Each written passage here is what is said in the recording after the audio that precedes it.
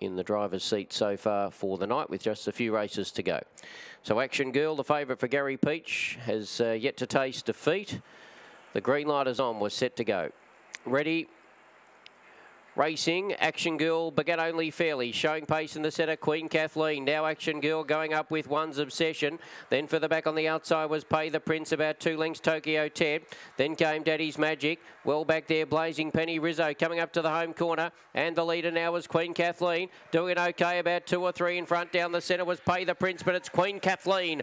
Queen Kathleen all the way. Photo for the Midas, Tokyo Ted. Or on the outside there was uh, Pay the Prince. Then further back was One's Obsession with Action Girl.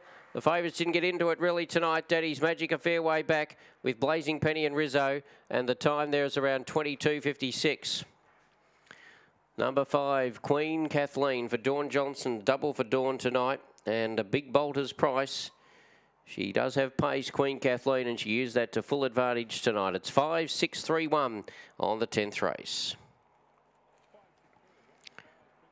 So 22.59, 22.59.